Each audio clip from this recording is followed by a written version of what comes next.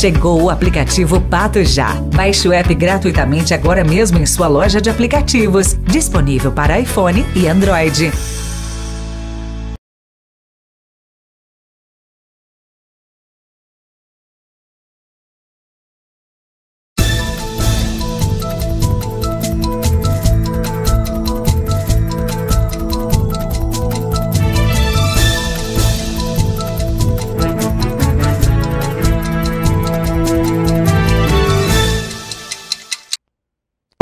Muito bom dia para você.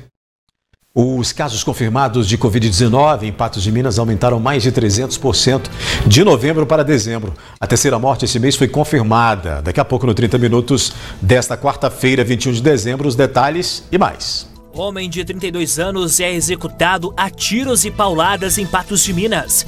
Vítima estaria usando dinheiro falso para comprar drogas. Há oito anos, mulher sofre com sangramento e há cinco está na fila de espera para realizar cirurgia. Em cinco dias, Minas Gerais registra 840 notificações de dengue. Verão começa com chuva e alerta para mais precipitações intensas na região. O 30 Minutos já está no ar.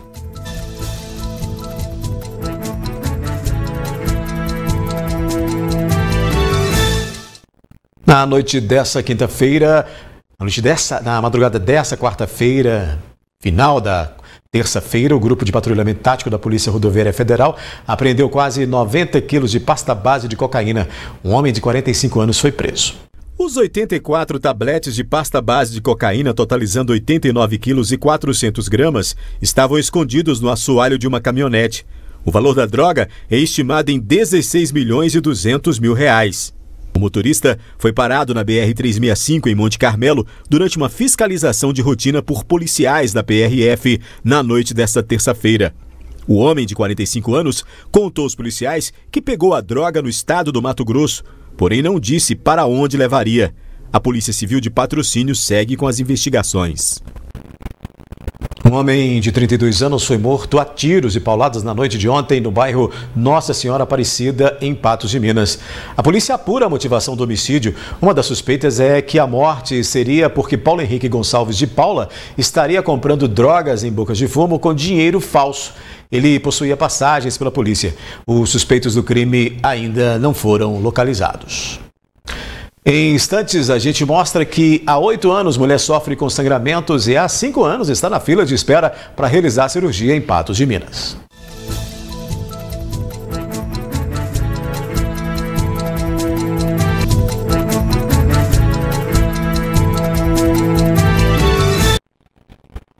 Cinco anos, uma moradora de Patos de Minas está na fila do sistema público para realizar cirurgia. Ela tem miomas e precisa retirar o útero, mas uma espera longa e marcada por dores e muita angústia. Há oito anos, a Glauciene percebeu sangramentos incomuns. Procurou o posto de saúde e, segundo ela, demorou três anos até o pedido de exame ser autorizado. Ficou constatado que Glauciene tinha miomas no útero e que precisaria retirá-lo. O procedimento cirúrgico, que seria no Hospital Regional Antônio Dias, até hoje não aconteceu. Uma espera angustiante que se arrasta há cinco anos. Eu estava com 34 anos, fiz um caminhamento todinho, né, na época. E quando chegou no regional, eu não foi feita essa cirurgia por causa da idade. A médica alegou minha idade, ser nova, e que eu ainda não tinha anemia, né? Que meu pH ainda estava bom. E foi negado, foi passada a medicação, porém não tive muito sucesso com essa medicação. Após a primeira negativa, Glauciene diz que o mioma se agravou e em dezembro do ano passado deu entrada na Santa Casa de Misericórdia. Após realizar novos exames, recebeu notícia que seria novamente encaminhada para o hospital regional, porém, na última semana, ela foi informada que não seria realizada a cirurgia, e uma das alegações seria de que os miomas estavam pequenos, e novamente ela teria que fazer uso da mesma medicação por mais seis meses. Né, hoje, com 39 anos, meu problema se agravou, né, que é os miomas. Hoje eu tenho outro tipo de problema que deu no útero, que chegou até ser pedido uma biópsia. E, e, e deu entrada em dezembro né, de 2021. E eu estava esperando essa cirurgia. Minhas consultas foi tudo na Santa Casa. A médica de lá falou que ia fazer e tal. E eu estava esperando, fiz os exames tudo. Minha consulta, a última consulta lá foi no mês de maio, né? E na semana passada eu fui informada que eu seria transferido para a regional para estar tá fazendo a, o procedimento da cirurgia, né? Só que eu cheguei lá, me alegaram de novo que eu não vou fazer essa cirurgia porque os miomas estão pequenos, que estão na parede, que não falou um monte de coisa e que entrar com a medicação de novo, a mesma que me foi passado há quatro anos atrás. Glauciene diz que o sangramento não para e sofre com dores fortes. Eu queria saber, né, por que que tá, que tá acontecendo isso, se eu vou ficar sofrendo com isso mais seis meses, que foi o que a mulher falou, com a médica, para mim estar tá usando medicamento mais seis meses, né, para estar tá esperando de novo, porque um ano para quem está sentindo dor é muita coisa, que está com sangramento igual eu tô, que isso é, é, é praticamente o mês inteiro, né, e eu não posso ficar na situação que eu tô porque está atrapalhando minha vida, está atrapalhando meu serviço, está me atrapalhando a vida social que eu não tenho mais. Né? Você não tem paz, você não tem sossego, é uma coisa que me incomoda muito. A paciente cobra uma solução para que seja feita a cirurgia. Que não é tão, tão difícil assim, eu acho, né? Porque lá não tem né, só ela de, de ginecologista lá no regional. Eu creio que tem mais lá. Se eu não posso fazer lá no regional, eu posso fazer no outro hospital, em outra cidade, se for o caso. Eu sei que eu não posso ficar na situação que eu estou está muito complicado para mim. E eu preciso de, um, de uma resposta. Porque na situação que eu estou, não posso ficar. Segundo a FEMIG, a pactuação dos serviços para garantir assistência hospitalar, hospitalar à população da macro-região noroeste e atenção hospitalar é regulada pelo SUS Fácil. O fluxo de atendimento é previsto pelas diretrizes do SUS dentro dos parâmetros de prioridade e da capacidade da rede hospitalar. A Prefeitura de Patos de Minas ainda não respondeu ao jornalismo da MTV sobre a situação da Glauciene. Enquanto isso, a espera vai se alongando cada vez mais. Daqui a pouco aqui no 30 Minutos, verão começa com chuva e alerta para mais precipitações intensas na região. Em cinco dias, Minas Gerais registra mais 840 notificações de dengue e casos confirmados de Covid-19 em Patos de Minas aumentam mais de 300% de novembro para dezembro.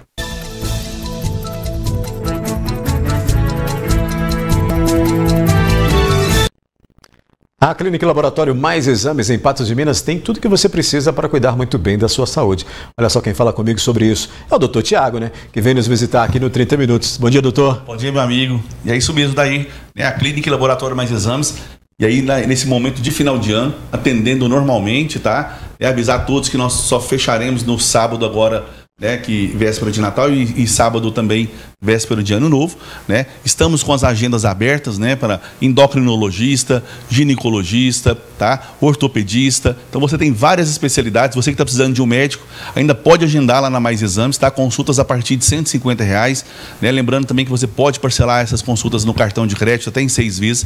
Também temos aí, né, para esse final de ano, para você já fazer o seu check-up, não esperar aí virar o ano, né? Pegar a tabela reajustada, já pegar uma tabela tabela antiga e ainda também com desconto. Em exames laboratoriais, exames de imagem, né, como a tomografia computadorizada, raio-x, mamografia digital, né? Também os exames cardiológicos, eletrocardiograma, mapa, Holter, tá? Você também faz lá o teste de esteira, né, o teste ergométrico, o ecodoppler cardiograma desconto especial também, né, nos exames de ultrassom, né? Você também tem todos os exames de ultrassonografia, são cinco ultrassonografistas lá na clínica e laboratório mais exames, né? Também fazendo exames de endoscopia digestiva. Então você consegue fazer cuidar da sua saúde, fazer aquele check-up especial, né, que vai associar exames laboratoriais, exames de imagem, exames cardiológicos, consulta médica.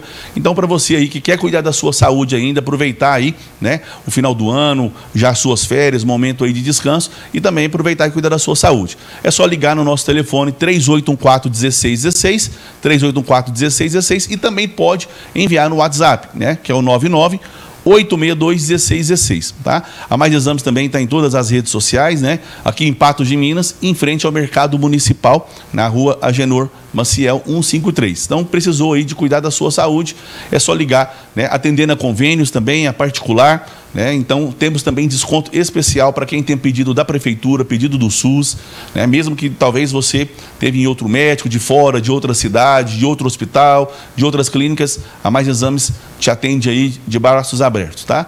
E aí, para todos, a gente deseja aí, né, um final de ano maravilhoso, né? Um feliz Natal a todos e um feliz ano novo aí, muito próspero, muita saúde, né? E muita paz aí no seu coração. Isso aí, meu amigo. Sempre é tempo de cuidar da saúde, Sempre mais é exames, mais pela vida. Obrigado, doutor. Obrigado eu. Olha, os casos de dengue continuam aumentando em Minas Gerais. Na semana passada, para essa, foram mais 840 notificações. Patos de Minas tem mais de 3.460 casos, de acordo com o boletim estadual divulgado nesta terça-feira. Em cinco dias do último boletim do Estado, comparado ao divulgado nesta terça-feira, quase 840 casos prováveis de dengue foram registrados.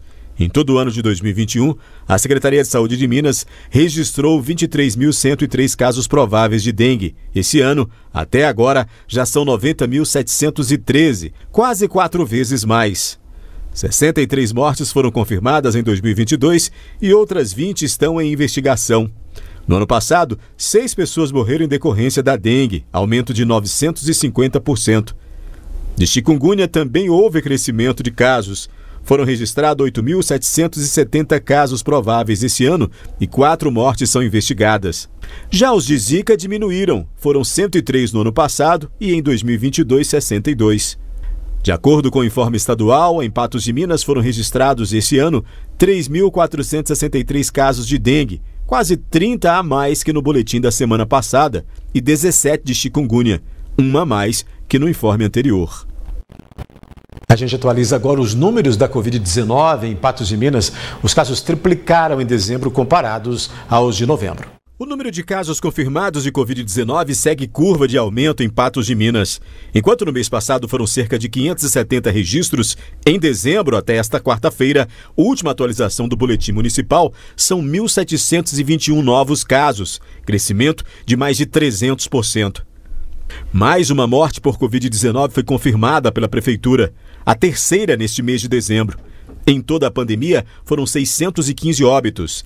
Nesta quarta-feira, em Patos de Minas, cinco pessoas estavam em leitos clínicos e duas em UTI. Há no município total de nove pessoas em leitos clínicos e dois em terapia intensiva. Há 437 pessoas se recuperando da Covid-19 em Patos de Minas.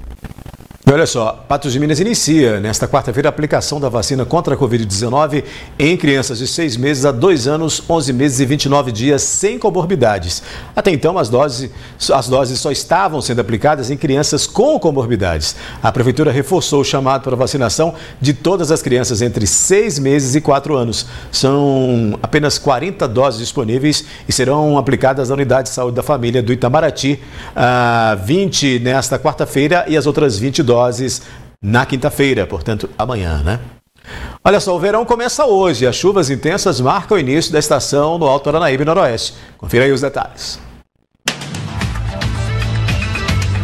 Previsão do tempo. Oferecimento New Color. Presentes de Natal é na New Color. Óculos de sol em 10 vezes sem juros. O verão começa nesta quarta-feira. A estação é marcada pelas altas temperaturas, dias mais longos que as noites e também muita chuva. E já choveu muito nos últimos dias na região, e o alerta para precipitações fortes e volumosas continua, conforme o IMET. As temperaturas máximas devem cair a partir de sexta-feira. Em Patos de Minas, hoje os termômetros alcançam 26 graus e na quinta 27. Amanhã, em Rio Paranaíba, varia de 17 a 24 graus. Em Patrocínio, que teve um dos maiores volumes de chuva do país nesta terça-feira, mais de 65 milímetros, a temperatura varia de 17 a 27 graus nesta quinta. Em João Pinheiro, que teve mais de 62 milímetros de chuva acumulada nesta terça, registra máxima de 27 graus amanhã. E em Coromandel, mínima de 18 e máxima de 28 graus nesta quinta. Tem mais um 30 Minutos. Na volta, a gente mostra que servidor público expõe obras feitas durante a pandemia.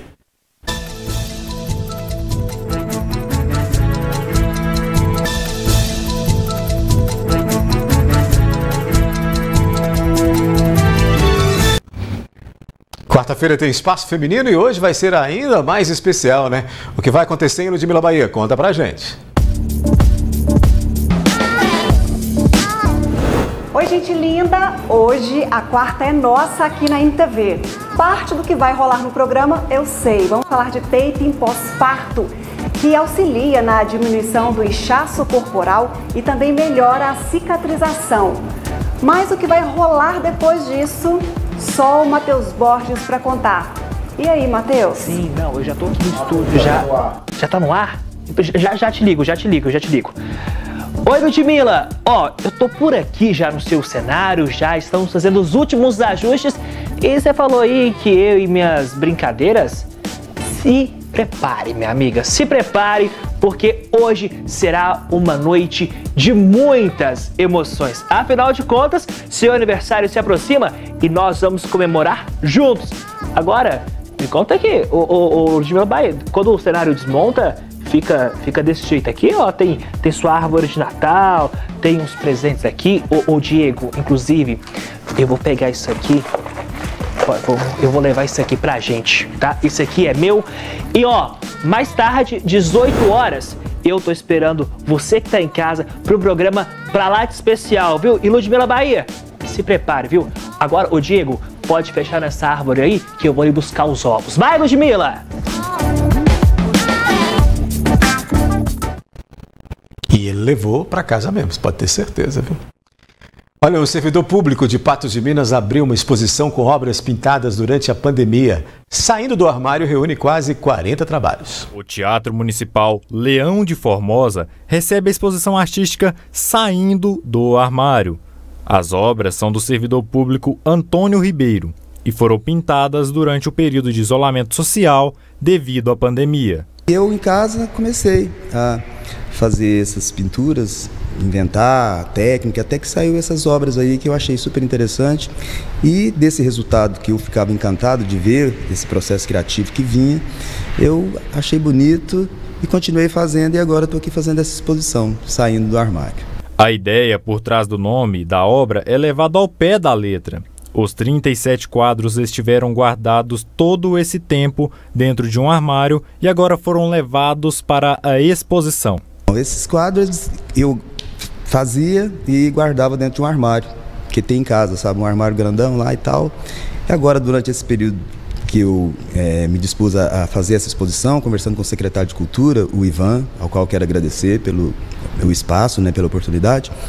E eu tirando esses quadros para fazer a exposição, eu tirava do armário. Depois eu procurei um título, falei, poxa, esse saindo do armário vai ser legal. Então, literalmente, saindo do armário é porque esses quadros estavam guardados dentro de um armário e foi tirado de lá para vir para ser mostrado para as pessoas.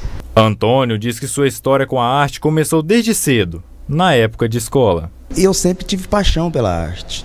E quando eu estudava, tinha aula de desenho, tinha aula de educação artística. Mas nós, na nossa pobreza, o que acontecia? Era na escola que a gente fazia os desenhos. Chegava em casa, você não tinha nada para fazer. E eu ficava encantado com aquilo, mas como que eu vou conseguir fazer? Sabe? E não conseguia. Porque arte é cara para você fazer arte, sabe? Tinta é caro, o papel, a, a, a tela é cara. E a gente, assim, é, para fazer arte, tem que ter um pouquinho de dinheiro, digamos, né? Mas a gente faz por prazer e essa técnica aqui, ó, ela é papel, então não é uma arte tão cara e dá esse efeito tão bonito. Mas a arte surgiu em mim, foi dessa maneira, sabe? Foi na escola, e eu sou muito apaixonado com a arte em si, de uma maneira geral. Todo tipo de arte, mas a visual é a que eu mais sou apaixonado, a de pintura é a que eu mais gosto. A exposição foi aprovada por quem entende do assunto.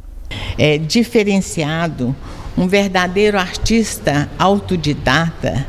É, ele mesmo cria sua arte e executa sua arte em material totalmente diferenciado. E essas obras saiu do armário para embelezar a todos aqueles que aqui vêm apreciar, porque tem cada obra que você vê, você mais encanta pela, pela técnica, pela assim a colocação que ele é, tirou de dentro dele e expôs nessas obras. Saindo do armário, fica disponível ao público até a próxima sexta-feira. Logo após, o Teatro Municipal passará por reformas e deve voltar por volta de abril do próximo ano. A gente gosta muito de falar sempre de arte, né? Até porque nós temos aí uma riqueza cultural muito grande, com grandes artistas plásticos e de outras áreas aqui em Patos de Minas. E mostrar obras é sempre muito importante, até para incentivar outras pessoas, outros artistas, né? A exporem seus materiais. 30 minutos fica por aqui, volta amanhã. À noite eu te encontro às 19 no NTV News. Te deixo na companhia do programa Guia Aventura, a partir de hoje aí, comandado nesse fim de ano por Ayandra Faria. Boa tarde, Ayandra. Boa tarde, Daí. Boa tarde ao pessoal de casa. É isso aí, como o Gui já havia anunciado, descanso merecido. Não vamos nem dizer que é férias, né? Um recesso Rápido, de fim né? de ano. No primeiro programa de janeiro, dia 2, ele já estará aqui de volta para comandar esse programa que é dele, tem a cara dele. Por falar nele, tem muita gente perguntando, inclusive na rede social, como é que participa para ganhar esses prêmios aí? Que dia vai ser esse sorteio? Hein? Hoje nós temos dois momentos muito importantes aqui no programa. Nós entramos no último dia para o nosso telespectador participar da promoção especial da Copatos. Então, até às 12h30, quem estiver assistindo o programa pode tirar a sua selfie com a televisão de fundo e segurando um, pro, um, produto da Copatos e enviar aqui, porque às 13 horas tem sorteio. E aí, ó, daí o sortudo ou a sortuda vai ganhar uma ceia completa completa, com várias guloseimas aí, peru, vinho, tudo que tem direito na sua ceia de Natal. Nós estamos então na reta final, até meio-dia e 30 a pessoa pode mandar uma foto aqui para o programa. E nós também entramos na reta final aí dos brindes dos nossos parceiros, os presentes da nossa árvore de Natal, mas esse sorteio vai acontecer na sexta-feira, ainda dá tempo das pessoas participarem aí, mas corra porque nós já estamos aí no meio da semana. Reta final, então. Então tá certo. Bom programa para você. Até amanhã. Muito obrigada. Até.